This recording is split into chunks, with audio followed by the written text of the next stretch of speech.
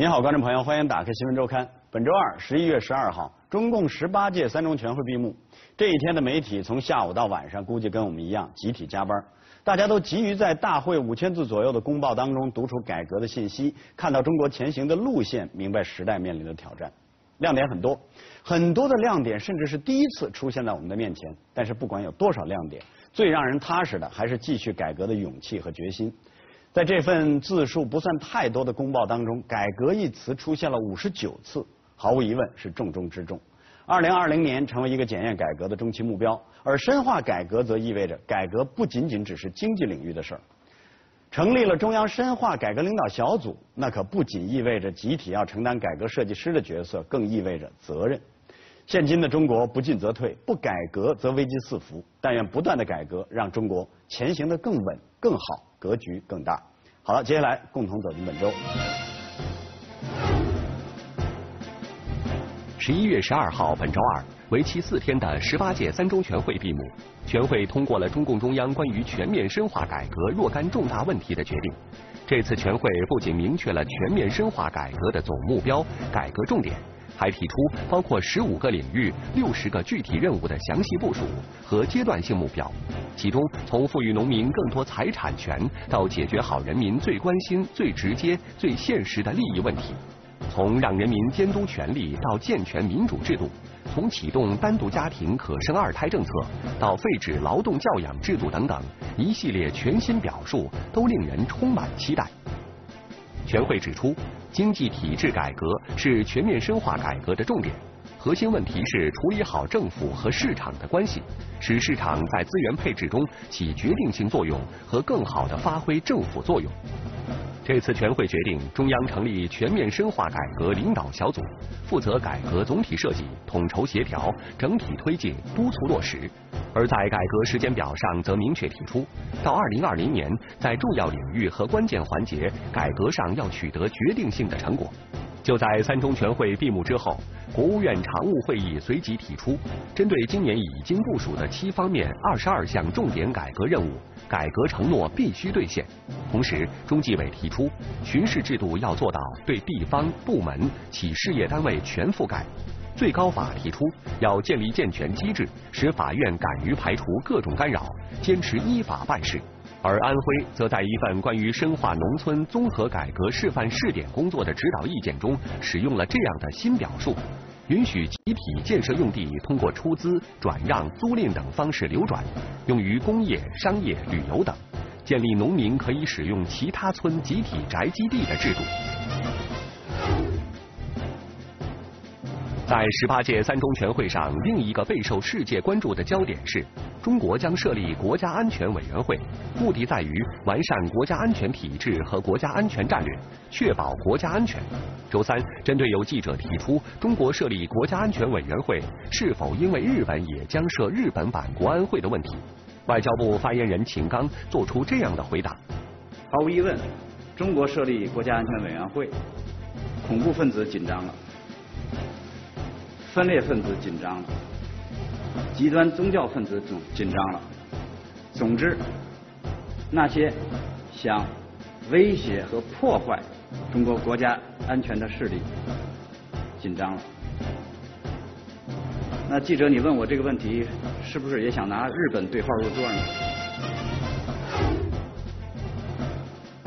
近日，河南省公安厅出台切实防止冤假错案十项措施。其中废除了刑事拘留数、发案率、破案率等不科学、不合理的考评指标，以防止民警因办案指标和现实破案的压力而刑讯逼供、办错案、办假案。在江西，则提出严禁下达或变相下达拘捕、罚款指标，严禁将拘捕、罚款同民警的惩罚晋升挂钩。而上海市高级人民法院也于近日提出，要纠正片面追求数据好看而人为控案的不良现象。在评估指标体系中，不再对结案率进行排序。此外，本周又有媒体报道称，在信访制度层面，我国将不再搞全国范围的信访排名通报。此前，初衷是为了加强地方政府信访工作责任的排名制度，由于与地方党政领导升迁挂钩，而被逐步异化，甚至出现大量劫访、黑保安、黑监狱等违法行为，加剧了信访矛盾。而下一步，地方政府将如何把矛盾化解在基层，把问题解决在当地？信访制度的改革方向仍然值得观察。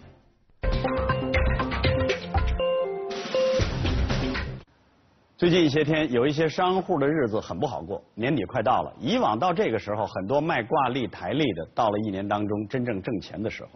虽然年年个人来买的在减少，但大户本来就不是个人，而是单位、企业的集体采购。然而，今年风向变了。最近，中央纪委发出关于严禁公款购买、印制、寄送贺年卡等物品的通知。要求各级党政机关、国有企事业单位和金融机构严禁用公款购买、印制、邮寄、赠送贺年卡、明信片、年历等物品。令一出，市场迅速转冷。北京一家商户几天之内就有三张订单被取消，分别是北京某镇政府、上海某科技公司和北京某机关幼儿园。为何连这样看似不大的小事都上了禁令？接下来要禁的还有什么？还敢有人上有政策下有对策吗？新闻周刊本周试点关注禁令下的作风变不变？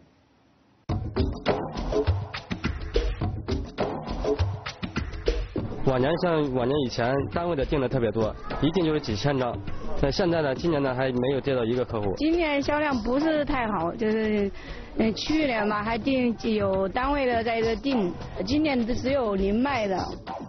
临近新年，本该是挂历贺卡的销售旺季，但北京的小商品市场里，销售贺卡的商户却提前进入严冬。不只是北京、上海、南京、重庆等城市的贺卡市场也遭遇了寒流。让今年的贺卡年历市场旺季变寒冬的，是半个月前中纪委下发的一纸禁令。明确要求各级党政机关、国有企事业单位和金融机构严禁用公款购买、印刷、邮寄、赠送贺卡、年历等物品。去年的话，一一天几千块钱，现在啊，销量就是几百块钱。单位不用啊，有的私人也个人有的也不用。禁令之下，从设计公司到印刷厂再到销售商，整个产业链都受到不小的影响。而更多人则是通过这次禁令才知道，此前机关单位和大型国企花在贺卡挂历上的钱竟如此巨大。在某个国家级贫困县，一年邮政局用于公款这个贺卡的消费金额就有四五十万。一本年历的批发价从几块钱到几十块钱不等，业内人士估算，全国的市场规模则超过三百亿。其中，政府和国有企事业单位的订单普遍占到了百分之四十至百分之五十。浙江政府采购网十一月一号发布了一份中国银行浙江省分行二零一四年挂历贺卡印制项目招标公告，采购量为挂历七点三九万份，台历五点二六万份，贺卡二点六万份。随着中纪委禁令的出台。这个进入招标环节的贺卡印制项目已被紧急终止。用公款购买、印制、寄送贺年卡等物品，就是大手大脚、奢侈浪费现象的具体表现。中央纪委啊印发这个通知，就是要早打招呼、早提要求，及时刹住这股不正之风。寄贺卡、发年历这些往年看似寻常的小事，如今也作为禁令明确提出。中央八项规定实施近一年，逢节必查，新年、中秋、国庆之前都曾发文严禁公款送礼、大吃大喝，效果也是立竿见影。高端月饼市场明显遇冷，大闸蟹商家降价促销，走起了平民路线。从瓷器茶叶到茅台虫草，凡是和高档二字沾边儿，在今年都遭遇了价量起跌。中央一次次禁令，俨然成为了市场的晴雨表。比较大的集团啊，大的单位，它的团购大做的比较多。呃，中央八项规定出台以后，这个销量是往下走，大概下降了百分之七十。中央八项规定出台以后，这个高档茶的消费，呃，确实受到了一定的影响。这其实呢，也是一种正常的理性回归。与去年相比，我们茅台的价格现在已经下降了百分之六十左右，五粮液也下降了差不多百分之三十以上。我们销量与去年相比的话，也下降了将近百分之六十，蛮可怕的。中央的禁令到底对公款消费有多大威慑力？餐饮业交上的答卷恐怕最直观。十一月六号，中国烹饪协会发布三季度餐饮市场分析报告。二零一三年三季度，餐饮市场在波动中缓慢回升，大众化餐饮发展势头强劲。不过，高端餐饮仍处在寒冬。除去人力和原料成本上升因素，政务、商务客户群迅速减少是重要原因。个别高端餐饮企业营业利润同比下降在百分之四十五以上，陷入历史低谷。国家经济要繁荣，经济要发展，不能靠这种这个政府的消费啊，官员的这种奢靡的作风，这个吃喝风来拉动。因为过去啊，他有些餐馆，他是为官员服务的。它是面向着这些政府部门，给他们带来生意，给他们带来这个这个收入，这这这个生意做不到了，是不是？他们不转，那那是不行的。十一月初，中央发文叫停各地安排考察性出访，一刀切的强硬态度再次引发关注。但禁令之下，是否能真正堵住漏洞？会不会上有政策，下有对策？一切还需要时间的检验。对于卖挂历的商户来说，这个冬天特别冷，而且也丝毫看不出来明后年的冬天有转暖的迹象，看样要转转思路了。其实拥有这种挑战的商户，在此之前是卖高档酒的，还有开高档餐饮的。随着中央八项规定的推出，纷纷应声倒地，并陆续走上了转型的道路。之后是卖月饼的，中秋节前的禁令让月饼回归月饼，市场自然是缩小不少。与他们同命相连的还有高档茶叶、高档烟的生产厂和销售商，而随着官员出国考察的禁令出现，不知道旅行社的生意是不是也会受到影响？但是与他们相比，真正受冲击的则是众多顶风作案的违纪者，以及中央巡视组在巡查中击中的苍蝇和老虎们。一个婚礼办了三天，不仅婚礼宴席颇为奢华，还有明星豪车助阵，总计花销百余万。今年国庆期间，北京村官马林祥为儿子大办婚礼，被公众热议。在中央严禁党员干部婚丧嫁娶、大操大办的禁令面前，这场婚礼也惊动了北京朝阳区纪委介入调查。筹划在六月份吧，我们两家六口人，相对来说是五比一。有些事儿我是说不了了，就是这个农村这个风俗嘛，搭这个大棚，走这个流水席。目前我们暂未发现他动用公款公物操办婚礼。对于此事，我们将进行深入调查。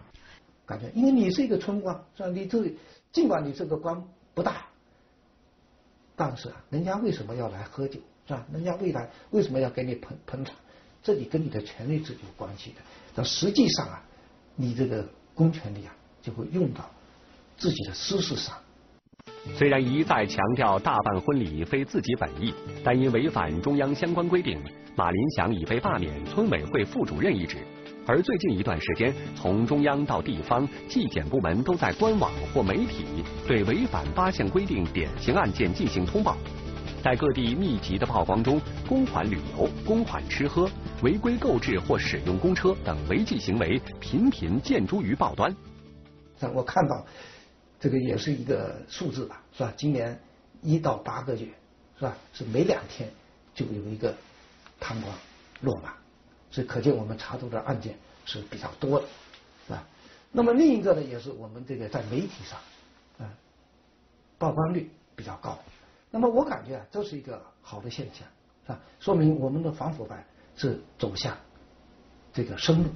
以前这个通报啊，都是在内部的。啊没有这个向社会、向公众通报。截止到本周，备受关注的中央巡视组第二轮巡视已经全面展开，十个巡视组已正式进驻巡视单位，并公开了监督举报电话和邮箱。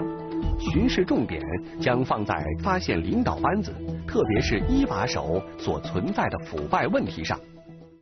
巡视组进驻以后，我们会通过当地的主要媒体公布联系方式等等信息，便于呢干部群众与巡视组取得联系，以他们认为方便的或者说是安全的方式和我们联系。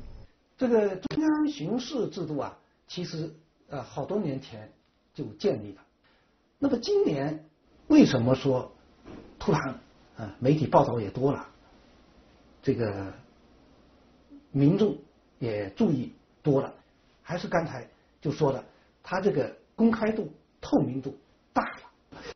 通过与网友互动等方式，以往颇显神秘的中央巡视组向公众详解了工作程序和巡查内容，而被外界俗称为“反腐钦差大臣”的中央巡视组，在今年第一轮巡视中也威力出现。原贵州省委常委、遵义市委书记廖少华严重违法违纪案，正是第一轮巡视中发现的线索。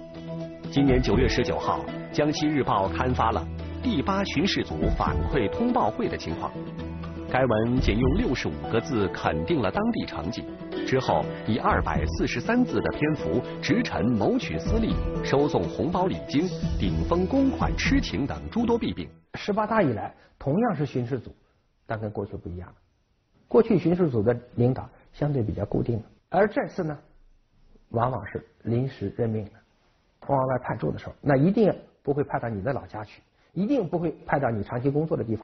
巡视组就不会考虑任何的什么私情啦、什么老乡、什么同学、什么这些关系。那我想，就是让巡视组有权威，就是让巡视组尽可能的不受任何干扰。中央巡视组建立了组长库，实行呢三个不固定，就是呢巡视组的组长不固定，巡视的地区和单位不固定。巡视组与巡视对象的关系不固定，组长不是铁帽子，一次一授权，一次一任命。在第二轮巡视中，有五个巡视组组长进行了更换，而这样的调整，除了避免利益链条的形成，也让中央巡视组队伍更加年轻化。接下来，各地纪检监察机关能否对腐败案件日常查办保持高压态势？而中央巡视工作能否真正成为整风猛药和长滩利器，都备受公众期待。原来位于北京平安大街二环边的中纪委大院一直是重要但是相对安静的，可是近来这儿也热闹多了，因为随着中纪委一记又一记重拳的出击，在新闻中出现的频率就越来越高。很多人觉得这儿不再那么神秘，也对这儿寄予了更多的期待。很多人觉得。现在这儿代表着更大的反腐力度，既拍苍蝇也打老虎。有一个数字说明这个判断：从去年的十一月十八大召开到今年十一月三中全会的召开，期间有十一位省部级官员涉嫌严重违纪被查处，几乎快一个月平均一个了，这力度少见。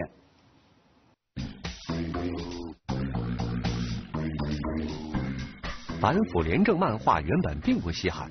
而最近，当这些反腐廉政漫画出现在中纪委监察部的网站上时，却引发了大家的关注。近日，中纪委监察部在网站上公开征集廉政漫画的同时，还在网上推出河北邱县廉政漫画展。要知道，这些作品全都出自当地农民之手。漫画硬功夫的作者郝增茂是在电视新闻里知道自己的漫画上了中纪委监察部的网站。这位刚从地里干了活回来的农民又惊又喜，心中感觉到很很高兴。我觉得，对，虽然说没得到什么金钱多丰厚的收入啊，总觉得活得有意义。虽然农民和漫画和反腐并不搭界，但是在邱县还是有不少农民喜欢创作廉政题材的漫画，老虎苍蝇一起打。把权力关进制度的笼子等，都是他们紧跟时事的作品。是实际上，反腐倡廉，呃，它也是领导要做的事情，也是群众心中最愿意做的事情，最愿意反对的，最就是我们就画这个。邱县农民喜欢创作漫画，不是一两天了，可是如此受关注，却是三十多年来头一回。把农民的廉政漫画作品登在网页上，用农民的漫画对官员进行廉政文化教育。中纪委监察部网站的这一举动引发了众多媒体的关注。有评论把它称为“中国反腐再增利器”。这个做法就是体现了什么？我们反腐败也要动员群众的力量啊，运用这个群众工作的这个方法啊，从群众那里得到更多的智慧，得到更多的这样的一个消息，呃，有利于我们啊能够深入开展反腐败斗争。一年来，中央纪委不断的成为人们的关注焦点。二零一三年九月二号，中纪委监察部网站开通。在首页显眼的位置设置了网络举报板块，为民间反腐打开大门。中央巡视组既查老虎也查苍蝇。十八大以来，中央纪委刮起了一阵阵廉政新风。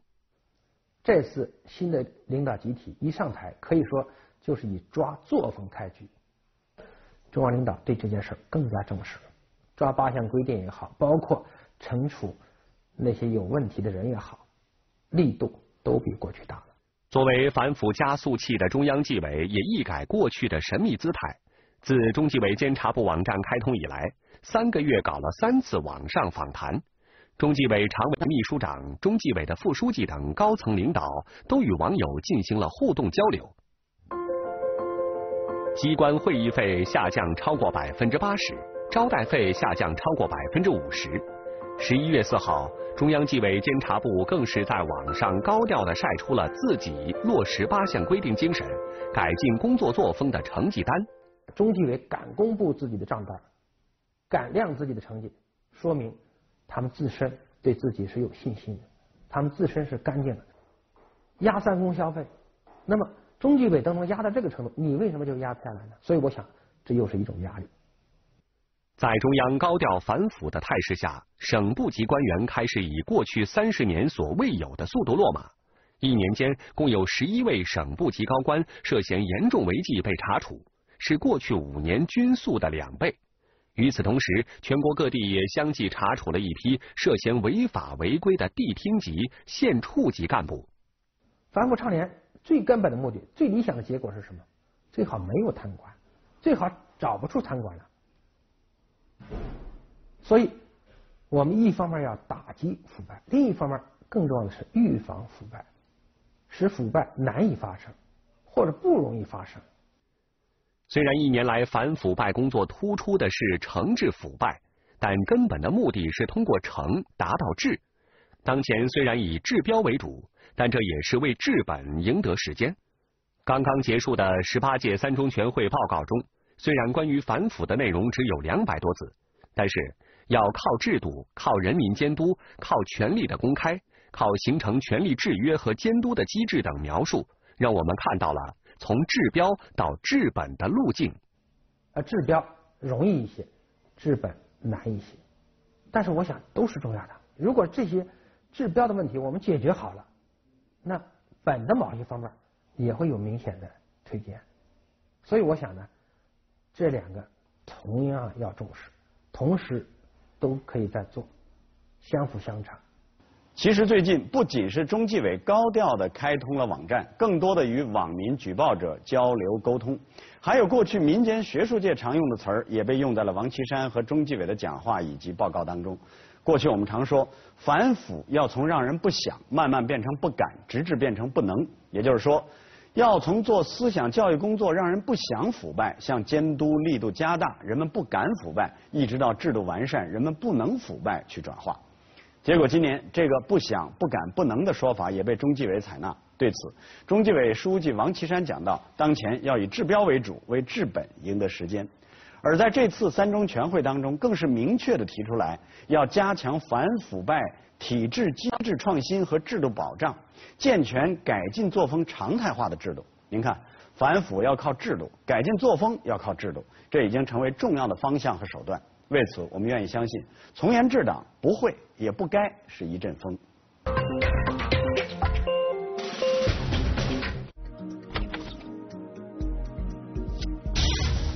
生命垂危，急需转院。可目的地却是距离佳木斯三百多公里的哈尔滨。这个只有六个月大的男婴小远，或许还意识不到这是一段多么危险漫长的求生之路。但幸运的是，由于好心人跨越两个城市的爱心接力，遥远的路途一下成了他生命的快速通道。孩子转院急需用车，当听到电台发布的求助消息，一位的哥马上赶到医院，接上孩子，急奔高速。路面湿滑，等的哥正为路况发愁，一位越野车司机当即放下同车的朋友出手相助。当孩子即将抵达哈尔滨，爱心车队早已在收费站等候，出租车引路，交警疏导，在哈尔滨一段原本四十分钟的路程，居然只用了十五分钟。最终，小远被顺利送到医院，抢救之后平安脱险。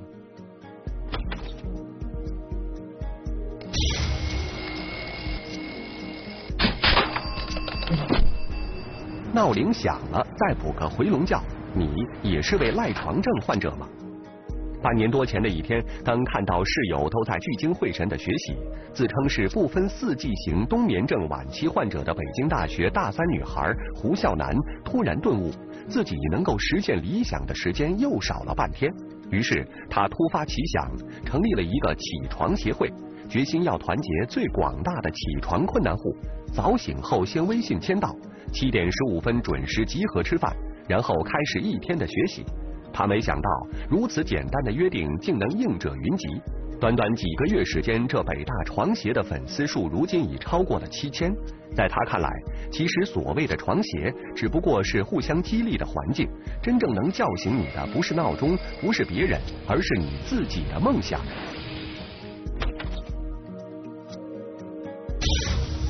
绑架、杀害、抛尸。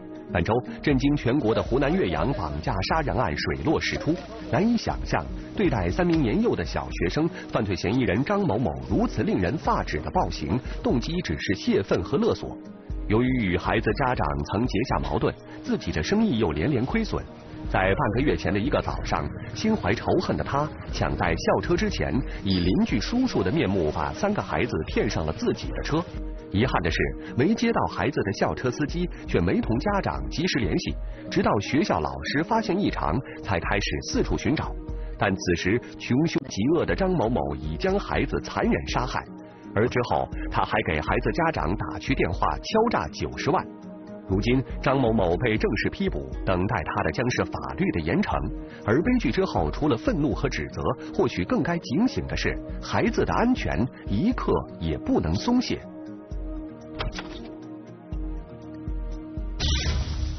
你从哪儿来的？当然是你爸妈生的呀。老师跟你说是爱情的结晶。No No No，我们是哺乳动物，又不是晶体。只有受精，哪来的结晶啊？你问为什么？我从哪儿来？男孩和女孩为啥不一样？这样的问题对于不少父母来说，或许都是敏感话题。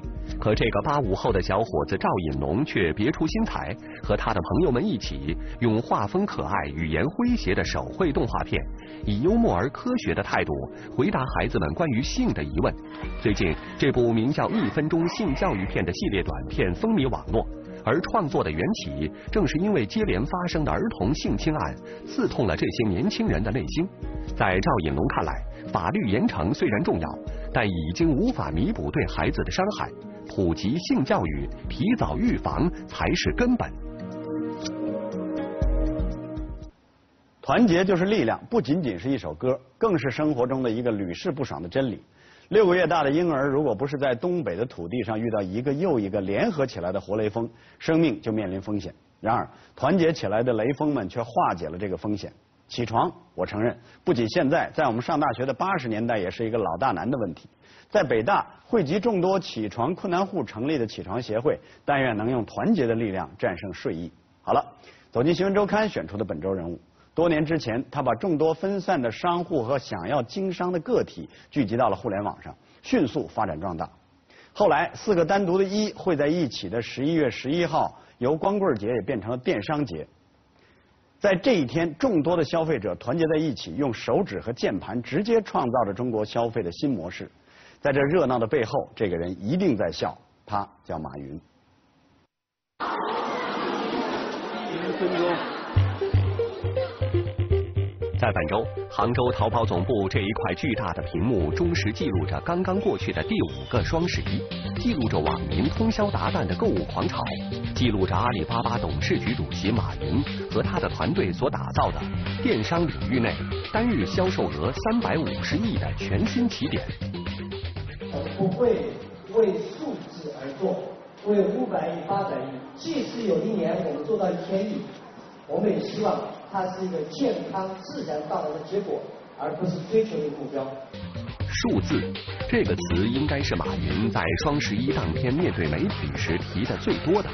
对于生意人来说，这归根结底还是一次财富的积累；而对于从教师行业涉足商业，短短二十年就能成为一个游戏规则制定者的马云来说，他所看重的数字背后或许还有其他含义。我们更应该要有健康的素质，把做五六百亿、做千亿的能量放到真正的帮助更多的企业转型升级。马云曾经说过：“生意人创造钱，企业家要为社会创造环境，必须要有创新精神。”而旗下拥有着淘宝和天猫两大知名网购平台，马云在领跑电商领域的这一刻，给自己的定位。或许更想摆脱生意人的身份，能与国家领导人座谈网购电商，眼界提升的他，似乎更愿意成为自己所标榜的那种有责任的企业家。所以今天最要是升级我们的能力，升级我们的视野，扩开我们的胸怀，这个比转型来的更为重要。就在双十一前后，当所有媒体都热衷于追问马云有关于销量数字的问题时，马云却言必称转型升级，这也让很多人质疑。几乎动用了所有传统营销宣传手段的阿里巴巴，似乎只是在打造一种新的游戏规则。马云强调的转型在哪里？双十一的集中消费对于消费者的心态、观念以及消费冲动，究竟又能有多大改变？呃，我相信明后年这种产业升级，由于大量的这个网上网购起来以后，呃，大部分的工厂、大部分的商场不会再在这种把这商业区啊作为重要投资。那么，由于商业区不会重要的投资，边上的居民区的成本也会降低下来。啊，真正的让整个社会各种的经济按照市场化的手法来进行运转。在本周，马云的这段话被很多媒体解读为网购打压房地产。尽管这不见得是马云的本意，但想从商家和消费者的某种对立中走出来，却又让他站到了地产大佬们的对立面上。当你成功时，你说的所有话都是真理。显然，如果用马云自己的这句名言来做一个衡量，遭到围攻的他，显然还没能得到所有人的认同。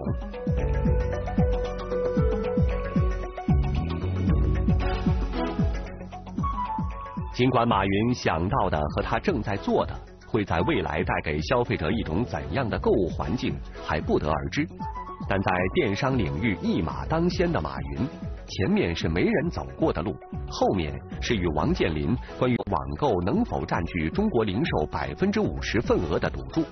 所有的一切已经让他不得不调动所有资源去迎接挑战。二零二零年，王健林如果赢的话，是我们整个社会输了，是我们这代年轻人输了，好，对吧？因为。如果说二零二零年房地产、商业地产依旧占领整个中国大半江山的话，说明我们的转型升级没有做，所以说明我们这一代人的努力不如他们上一代人。两个人的赌局变成了中国社会的输赢。马云的论调虽然是在唤起年轻人的同仇敌忾，却也有评论文章直截了当指出，网购真能占据半壁江山。失去了消费选择的中国社会才是真输了。但不管争论的结果怎样，在过去几年间，马云和他的团队始终在整合包括企业、物流、金融、通信、服务等领域。或许这就是他心中的一种中国经济升级模式。啊，我觉得今年的十大经济人物的转型升级，最最最最合适的人是那些网商。就是那些每天晚上在想着创新、熬夜在服务中国几亿网民那些小网商们。可能一个快递哥、一个客服妹、一个敢于在网上尝试消费的人，这三个人组成了我们今天中国经济的新的亮点。从2000年被世界经济论坛评为全球一百位未来领袖之一，并在此后屡获中国十大年度经济人物的马云，在双十一销售量连年翻番的时候，更愿意把这种成功归结为一个庞大群体的努力和参与。或许他也明白，他所经营的模式比旧有模式更迫切需要认同感和归属感。一年一度，我们希望把双十一变成厂家向消费者感恩的日子。一年一度，我们希望厂家拿出最好的商品、最便宜的价格，去感谢消费者对他们一年来的支持。